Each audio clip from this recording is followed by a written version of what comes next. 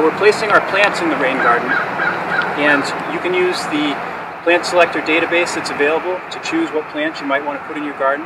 And again, these are species that are mostly native to the area and that will survive and do well in the rain garden without extra care once they're established. So there are a couple of rules of thumb when you are placing your plants.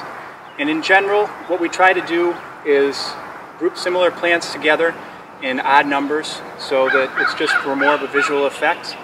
We also try to create some variety in the canopy. So you have some plants that are taller, some plants that are shorter, and maybe some that are in the middle of the range.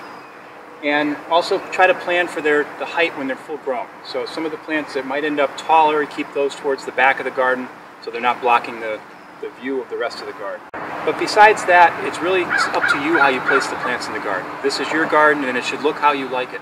So don't worry too much about putting things in an exact spot. That's not really that important.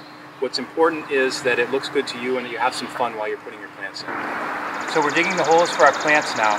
And one thing to pay attention to when you've excavated the bottom of your rain garden, in many cases when you remove that top layer of soil, that's where the most, most of the nutrition is in the soil, in that loamy topsoil. When you get down to the deeper layers, often there's not as much organic matter in the soil, and there may not be as much nutrition for the plants. So when, if that's the case where you're digging, and if you have new construction, that is almost always the case. You have a very thin layer of topsoil.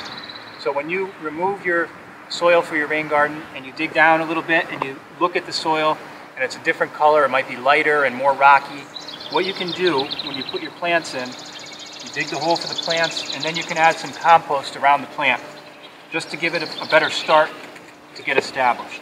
That's what we're going to do here. Some of the soil is okay here, but in some areas there was some old debris, so we're going to be adding a little bit of compost around each plant.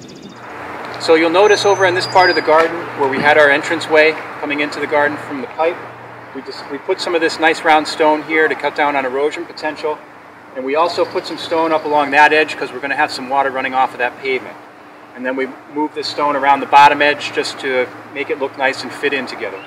We also removed the sod in that section so the reason we did that, this would have been difficult to maintain to cut that little section of grass. So we took the sod out. We're going to put mulch in that section to make the maintenance easier.